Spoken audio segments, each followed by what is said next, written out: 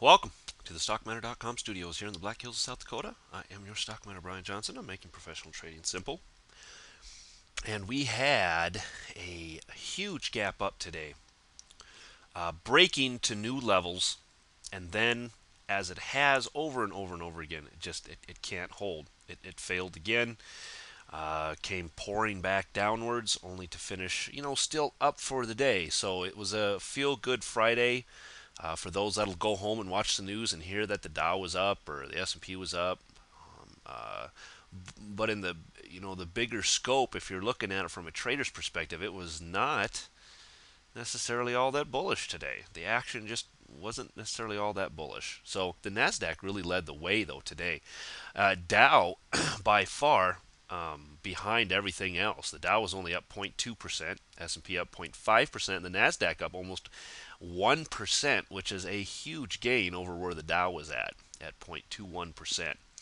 So, an interesting uh, day from the indices where the Dow has kind of been lagging. The, I mean, the Dow has kind of been leading, the Nasdaq's kind of been lagging. Now we had kind of a reversal today. We'll see if that makes a difference coming into next week in uh, which way the markets go.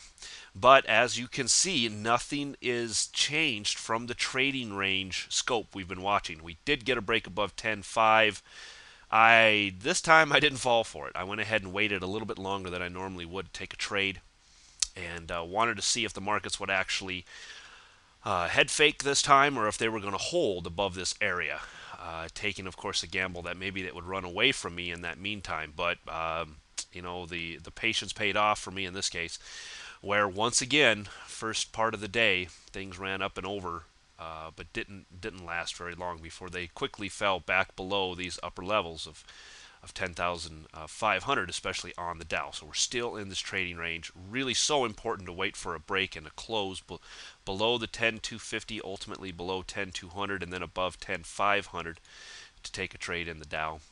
Uh, here it is again uh, for the week and for the wrap up for the week, just all sideways today. Did close above the 20 day moving average, but still in this big, larger trading range. NASDAQ on a 60 minute, very, very choppy. Look at all the gaps, as we've been seeing a lot within the indices.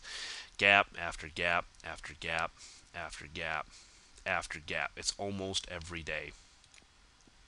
And finishing the week sideways, not able to get back up and into this rising wedge. So this lower trend line still holding very nicely on the NASDAQ.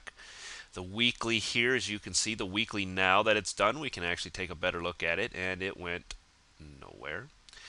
Uh, hanging up here, though, in doing this is still overall a bullish sign for the markets. Not to see it be pulling back here into these moving averages and staying up here towards the highs is still bullish overall until this area below here is broken and we touch, retest, and eventually break these moving averages on the weekly. SPX uh, sideways.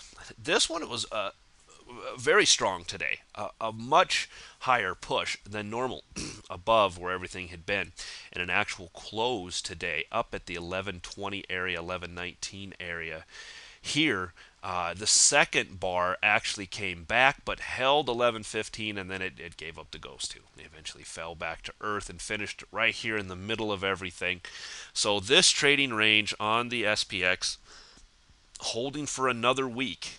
Just extremely difficult trading for those of you that saw my slope post on channels. Very, very difficult trading in here to uh, to make any money on this. So we'll continue to watch the individual equities to see if there's anything that uh, comes about there that offers us more trading opportunities. We did see that during the week, better opportunities within stocks and not within the indices. We've talked about this in the past too, where that happens.